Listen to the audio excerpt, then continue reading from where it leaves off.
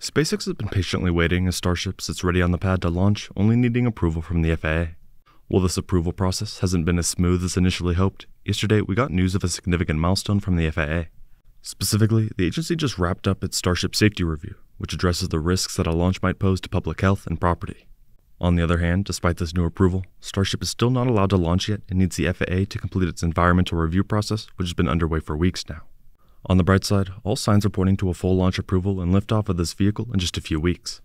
This is based on the timeline of the environmental review and comments suggesting that not all the time allotted to the agency is needed to complete it. Here I'll go more in depth into the completion of Starship Safety Review, the environmental approval, possible launch date, and more.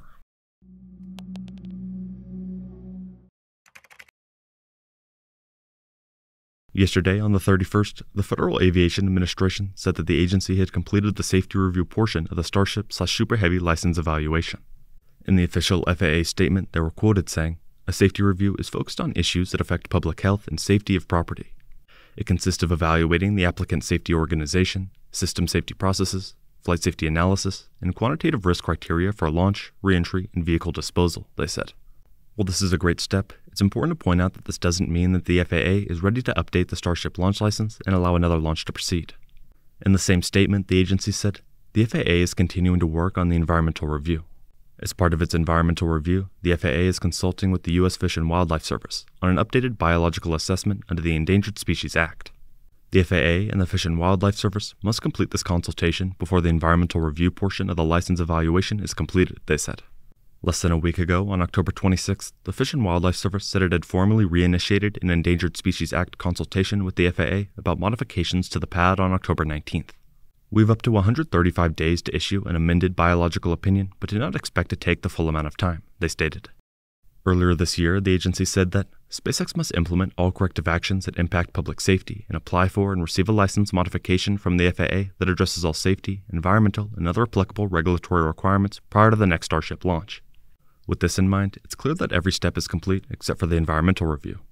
Unfortunately, this means that SpaceX is still, for the most part, in the same position as they were for months now as they continue to wait for approval.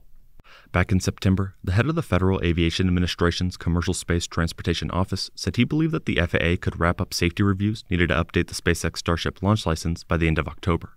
Obviously, based on yesterday's news, he was spot on with this estimate. When he made this statement in September, he also said that a concurrent environmental review is a wild card to that schedule. The reason for the environmental portion being somewhat of a wild card is the fact that the FAA is not necessarily responsible, but instead it's the Fish and Wildlife Service. As far as what exactly they're reviewing in the environment, it has to do with the new water cooled steel plate. After the first Starship launch destroyed the pad, SpaceX built and installed a massive steel plate and deluge system. On launch day, the system will spray thousands of gallons of water to try and dampen Starship's 33 Raptor engine's exhaust. However, because of the launch site's position on the coast, the Fish and Wildlife Service needs to make sure it won't harm the environment. This has to do with water salinity levels, among other issues. While the head of the FAA mentioned that the specific approval is a bit of a wild card, he was also quoted saying, We're hoping that piece will wrap up somewhere in proximity to the safety review. With the safety review now complete, we could realistically see the environmental approval within around a week. This would place a Starship launch right around mid to late November. While there still is some work to do, we are closer than ever to the second launch attempt and should expect some significant developments in the coming days. About a week ago, SpaceX loaded its Starship in Super Heavy with more than 10 million pounds of propellant in a flight like rehearsal ahead of launch. The test went well, and soon after, the company commented Vehicle is ready for the second test flight of a fully integrated Starship, pending regulatory approval. Looking back at Starship's first flight, when SpaceX received the full approval, they scheduled the flight to take place only three days later no later than April 17th. On the 17th, SpaceX planned to launch and tried but scrubbed the first attempt. They then managed to launch a few days later on the 20th, less than a week after receiving approval. We can expect a very similar process here where approval is announced either by SpaceX or the FAA, and that will determine the launch date just a few days later. For this next launch, quite a few things have changed between Stage 0, the rocket, and even the flight profile. These changes are hoping to result in a fully successful integrated test flight. Since SpaceX began developing Starship, they made a lot of prototypes of both the booster and the upper stage. Over time, the company has tested these prototypes in different ways from pressure tests to actual flight attempts. The point being, each new prototype was a better version of the previous, using lessons learned from various tests. The first launch earlier this year was with Booster 7 and Ship 24. At that point, SpaceX knew that these specific prototypes were capable, however, because of the iteration speed at Starbase, they weren't even the most advanced test articles available. To put it in perspective, before the first launch in an interview, Elon was quoted saying, We were actually dying to get this rocket off no matter what happens to it, because there are so many improvements between Booster 7 and Booster 9, literally hundreds. In other words, even before the launch of Booster 7, SpaceX already had a more advanced prototype with hundreds of upgrades. Now, when you combine this with the extra changes made after the first launch and all the data that was produced, you have a rocket with over a thousand changes. On the first flight during ascent, the vehicle sustained fires from leaking propellant in the aft end of the Super Heavy booster, which eventually severed connection with the vehicle's primary flight computer. This led to a loss of communications to the majority of the booster engines and, ultimately, control of the vehicle.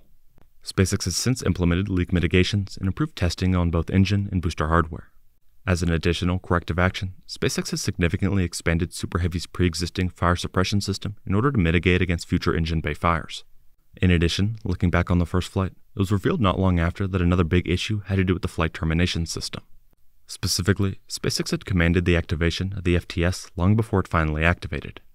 In a statement, they commented After an unexpected delay following AFSS activation, Starship ultimately broke up 237 seconds after engine ignition. SpaceX has enhanced and requalified the AFSS to improve system reliability, they said. The company continued by pointing out SpaceX is also implementing a full suite of system performance upgrades unrelated to any issues observed during the first test flight. For example, SpaceX has built and tested a hot stage separation system in which Starship's second stage engines will ignite to push the ship away from the booster. Additionally, SpaceX has engineered a new electric thrust vector control or TVC system for Super Heavy Raptor engines. Using fully electric motors, the new system has fewer potential points of failure and is significantly more energy efficient than traditional hydraulic systems, they said. After Starship's first integrated test flight, Elon said, The big things that are important for the next flight are ensuring that we don't lose thrust vector control, so isolating that thrust vector control. With Booster 9, that's a lot easier because we use electric motors to steer the engines as opposed to hydraulic actuators where you have a common manifold between the hydraulic actuators. In this case, if you lose hydraulic pressure, you can lose multiple engines. The electrically actuated engines will be much more isolated and not have a single event failure as long as they don't lose power or comms, he said. If everything goes as planned, not long from now we will see all these different upgrades working together during a new flight test. SpaceX is getting very close to the second launch of Starship. Yesterday, they received official approval for the safety review related to this launch. Will they still need approval on the environmental side? It's expected to be completed within a week or two. We will have to wait and see how it progresses and the impact it has on the space industry. Thank you very much for watching.